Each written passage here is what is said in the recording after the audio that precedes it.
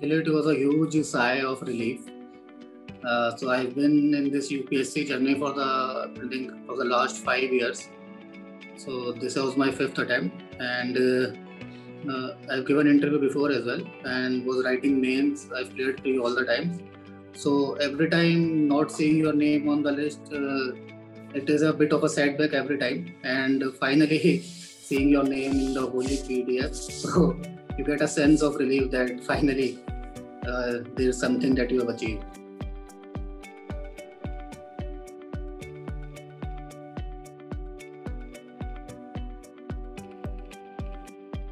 In this video, we bring to you insights from an interview with Anuj Sharma, a UPSC CSE 2020 achiever with an All India rank of 264. Anuj is an electrical engineer from Delhi and he worked in the private sector for about two years before commencing his UPSC preparation in the year 2014. While preparation, he also gave various other exams and he also started working as a forest range officer with the Madhya Pradesh Forest Department. How did he manage to balance work and studying? It took him five attempts to finally crack UPSC and all through he learned from his shortcomings and he learned to overcome all of his challenges. Watch this video to understand his journey and to prepare your journey towards becoming a civil servant. I am Anuj Sharma. Uh, I have secured All India Rank 264 in the UPSC Civil Services Examination 2020. Uh, I have come from I come from Delhi. Uh, I did my graduation in electrical engineering uh, from Delhi College of Engineering I graduated in 2012. And after that, I was working in a private firm for about two years. And uh, in 2014 15, I started preparing for UPSC. And in 2015, I gave my first attempt. And so this was my fifth attempt. And uh, uh, so I've given one interview before, and I've also given one interview in forest services as well. Uh, but uh, I mean, I was not able to make it. And then in the meantime, I was also, I also got selected in the Madhya Pradesh Forest Services uh, through MPPSC. And currently I am working as a forest range officer in Madhya Pradesh Forest Department.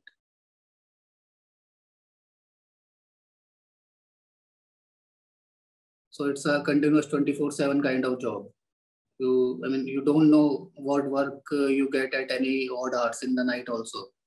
So uh, while preparing for the prelims examination, uh, since I've cleared every time, so I was uh, very much confident uh, uh, for the prelims, I will be able to make it without taking any leaves. And for this year as well, for the prelims, I didn't took any leave. Uh, I, I mean, I studied in in the in the any odd hours I get during the free time in the morning, you can say, and in the night after returning from work. Uh, but after prelims and when the results came out of the prelims, uh, I took leave for about two months to prepare for mains. Uh, since the mains was the part, it was, it was, I mean, it was a thorn in my preparation. So I had to take leave and I, my seniors also were very supportive. They granted me two months leave and I came to Delhi, uh, prepared in Delhi for about two months and uh, gave the examination. So my advice would be that uh, don't be bogged down by the fact that you work and that you are at any disadvantage. Initially, you, I mean, you initially to, I mean, to settle down and get the basics right, it takes some time adjusting to the new normal. So even if it does, uh, you take your time, whatever amount of time it takes, uh, do the basics right. It's, uh, I mean, that's the most fundamental part of the preparation. And uh, if you are in a nine to five for nine to five kind of job, uh, any amount of time you get, you try to study in that um, that uh, period of time. Uh, don't look for that. I if I have three to four hours then only I can study. So you have some constraints. You have to adjust. Uh, some compromises have to be made. So you have to adjust your mind and your body as well. That after coming from work, uh, even if you study for two hours, but make sure that you make those two hours worth it. Uh, uh, you cannot compare yourself with others who are solely preparing and living in Delhi. So, I mean, you there are many examples out there where you can see in the final list, so many people are there who are currently in service and who are working elsewhere. They have cleared with top ranks. So it's not that it is not possible.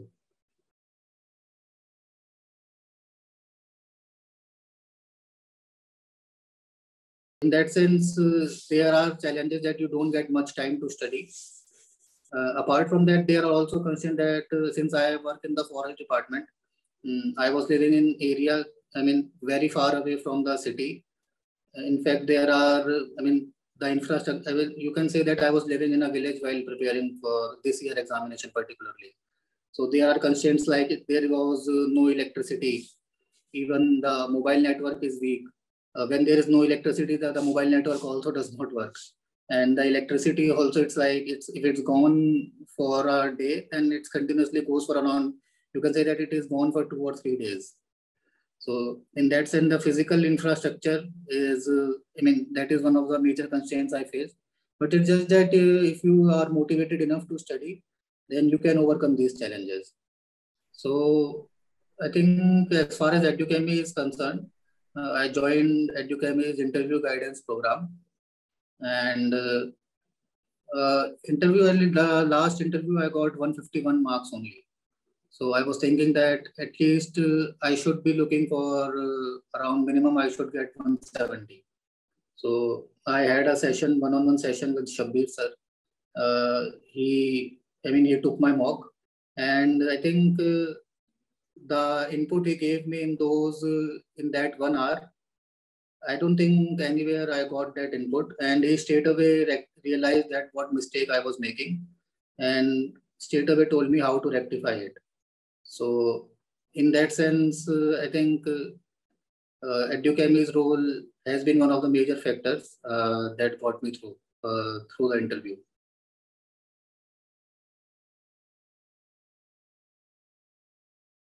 I mean, it was a major challenge, uh, but it's just that uh, I was not, uh, I mean, specifically for the prelims, uh, I was not very much dependent on the internet resources since I had all my books with me.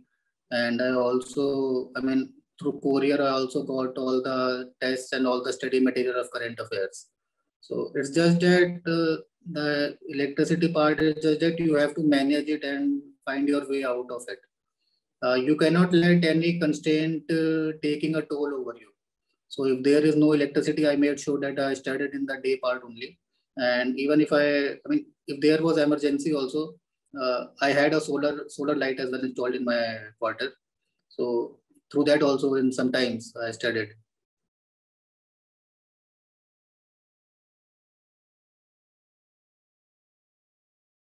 So I mean, before joining Edukemy, I gave a few mocks, and I think most of the mocks uh, I was being told that uh, you are not uh, confident enough and that confidence is lacking in you. Apart from that, uh, the expressions also which I have, they are also not up to the mark uh, that UPSC expects.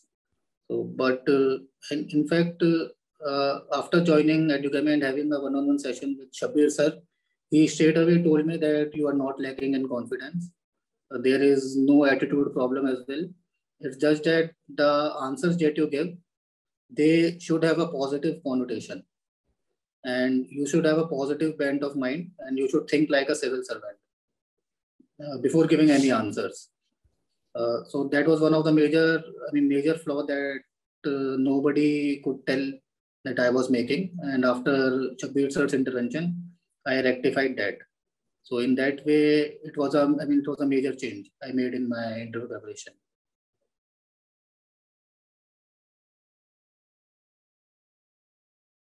I mean, it is pretty much helpful uh, since you know UPSC current, I mean UPSC interview mostly revolves around your DAF and current affairs only. And in my actual interview as well, around I can say that around 80% of my interview was based on current affairs only. So in that sense, uh, they were quite helpful.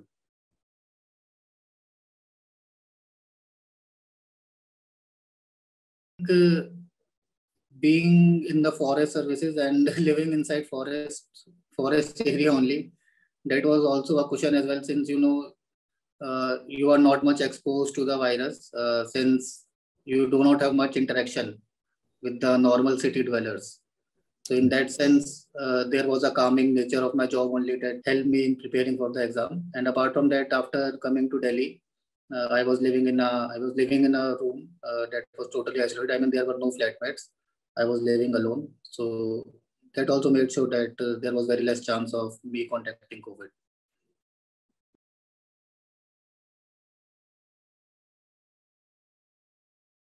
Yes, it is. I mean, it is overwhelming at first. Uh, so you have that stress of mains that mains are around the just around the corner and you are living alone so i mean there's tension anxiety stress all of that but uh, you have to control these emotions and make sure that uh, these do not affect your study. So to control these i made a habit that after waking up uh, uh i did yoga for around 15 minutes and i also started meditating. So i made sure that around half an hour in the morning i do the physical i mean physical workout and also meditation. It helped me greatly it helped me greatly calming my mind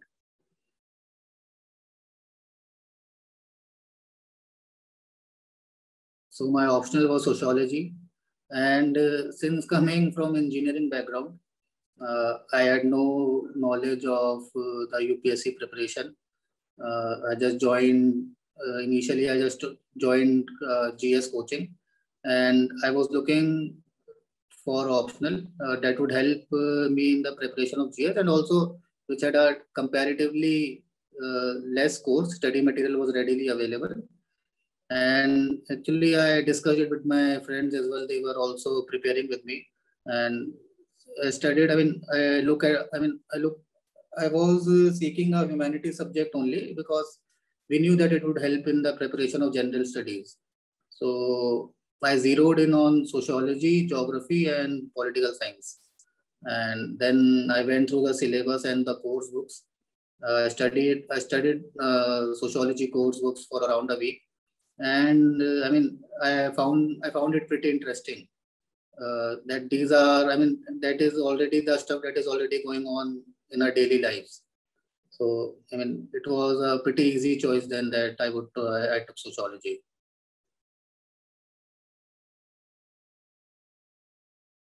So I would talk about uh, prelims first.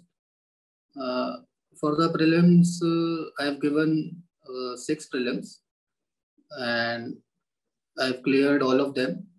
So this was my fifth attempt in the sense that for last year I gave only forest exam uh, and I cleared that as well. So for the prelims, I would say uh, I always relied on the static part of the course. I never, I mean, I also studied current affairs, but I never over, overdo them. Uh, I, I sincerely would request all the aspirants to focus on the static part, focus on polity, focus on history, economics, geography, environment. I think uh, making your static uh, part strong would sail you through the prelims quite easily. But what happens currently is that with the with this, uh, I mean, plethora of the coaching material available in the market, uh, students are more inclined towards finishing their current affairs and rote learning all the current affairs of the year. I don't think that would make you sail through prelims. The only thing that will make you clear prelim that if you do the statics right and not doing not doing the easy questions wrong. I think it is also one of the major factors where you get a question from say like Lakshmikant and you know that you have studied that but still you don't know the answer in the in the exam hall. That is where most of the students fail. So if you do the basics right and do the static part right and you make sure that uh, make sure in your mind that you will not let any static question go wrong. I don't think anyone can stop you from clearing prelims. And uh, now coming to the mains part, uh, for this attempt particularly, I would say that uh, I made answer writing a daily habit. Uh, I used to write answers daily for about half an hour.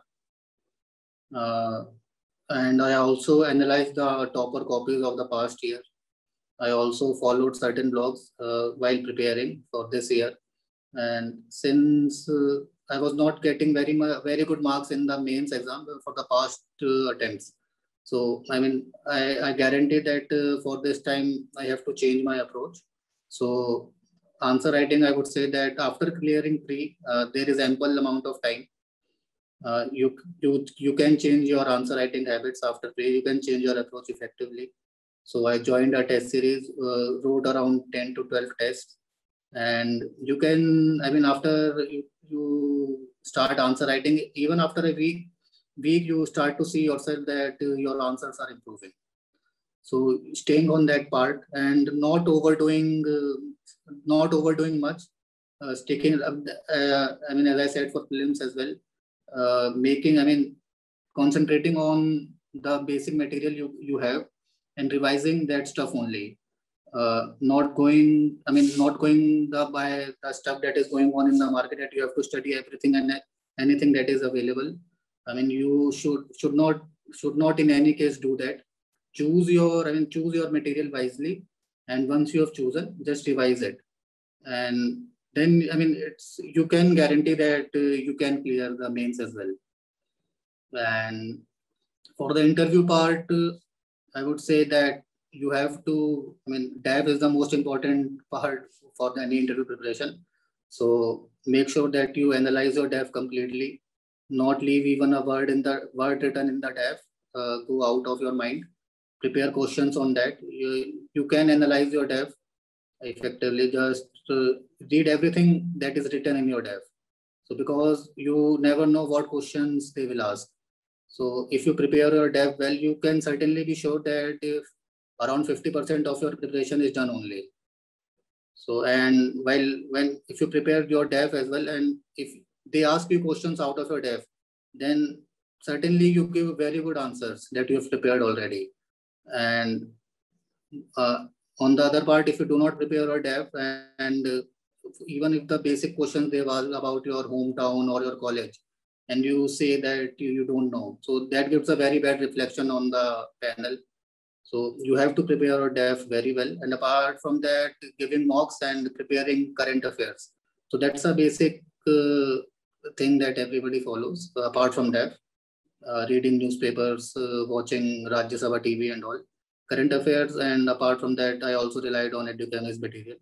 Current affairs can be tackled with, but major, major point I would say that you have to prepare your DAF very thoroughly.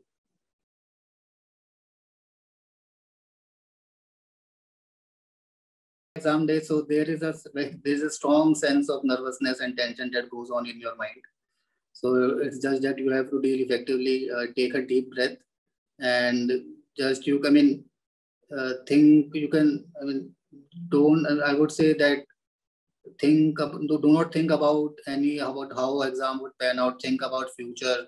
Just being be in the moment and just uh, think that uh, whatever whatever may come that i have i will do i will give my best and you will have you will i mean if you think it that way and you will give your best uh, i think being in the present moment only will help you i mean uh, being get, getting out of that uh, zone of tension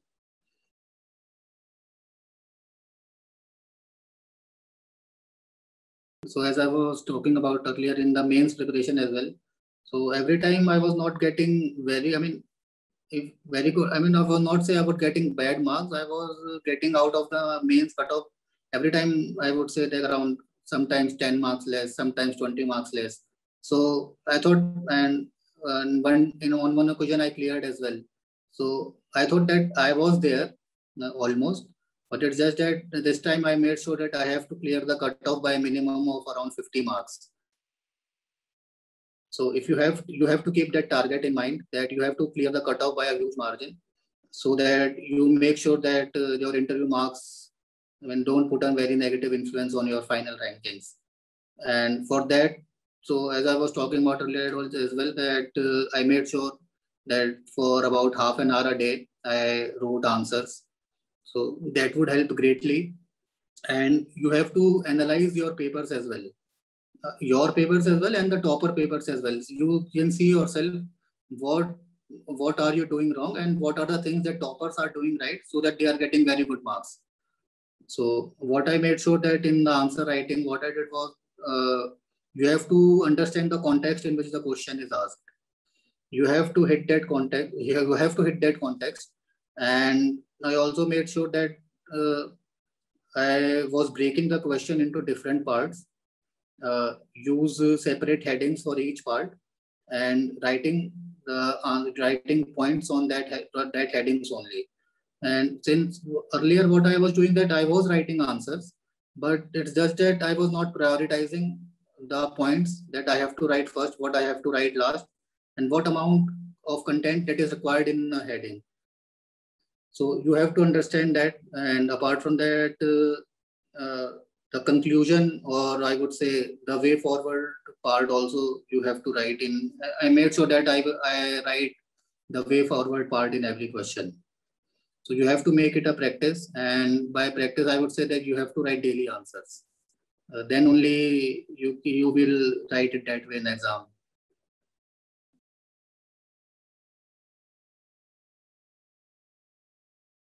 I think uh, taking my example only, so it's been around six years I was preparing for this examination. Uh, I would say uh, dedication, uh, perseverance, and commitment towards the exam would help you greatly. Uh, and you have to be patient as well. And don't be bogged down by failures. As I, I mean, I also failed four times in civil services and once in forest services.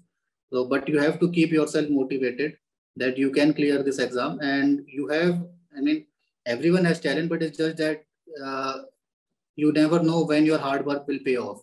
It's just that you have to keep going continuously and do your work uh, and we have a positive attitude in mind and there's a being dedicated and being patient.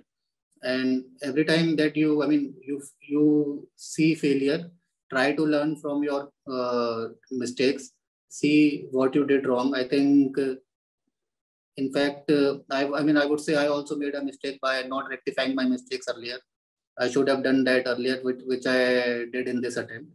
And I think that would help greatly and you can achieve success.